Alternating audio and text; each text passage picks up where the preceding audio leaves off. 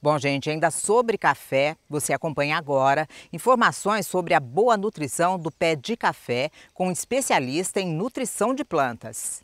Como é que o produtor sabe qual a quantidade que ele aplica é, de produto no café para nutrir ele de acordo com a necessidade? Então, Sérgio, a mesma recomendação para calagem. A gente sempre, o mais correto que a gente pode fazer é fazer uma análise de solo ah, em relação à perspectiva de produção que a gente tem porque uma planta que produz 30 eh, sacos vai comer, digamos assim, né, vai precisar de uma, de uma recomendação diferente da que vai produzir 60, né?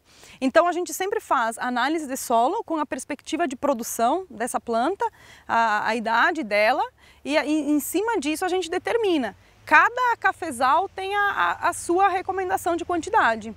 Agora o produtor que tem muitos ainda, infelizmente, não faz a correção do solo. O que, que acontece com o pé de café dele se ele aplicar de mais ou de menos o produto?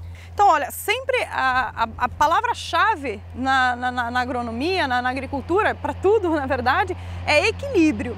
Se a gente aplica demais de um nutriente, ele pode estar tá inibindo a absorção do outro.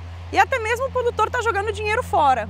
Porque se ele aplicar mais do que a planta precisa, ele vai atrapalhar. Não, não é se ela aplicar muito nitrogênio e pouco potássio, não vai, a planta precisa daquele nível de potássio. Então, sempre através da, da, dessas, desses pontos que eu falei, né, da análise de solo e da perspectiva de produção, aí sim a gente consegue dar o que ela precisa. E ela não come um, dois, três, né? Ela precisa de todos, do que a gente chama de macronutrientes, que são em maiores quantidades, e dos micronutrientes também, para ela poder se expressar e produzir tudo o que ela quer. Quer dizer, a orientação técnica é indispensável, né? Sim, é indispensável. É, a gente tem o que a gente chama da lei do mínimo, que rege a, a parte de, de nutrição das plantas. Se faltar um ou não adianta você querer botar bastante do outro que não substitui aquele um que está faltando, que ele tem uma função fundamental na planta. Então, o negócio equilíbrio. é equilíbrio. Equilíbrio e, e, fazer da, de forma certa, né? através de uma análise, de uma consultoria, né? Então, para fazer corretamente.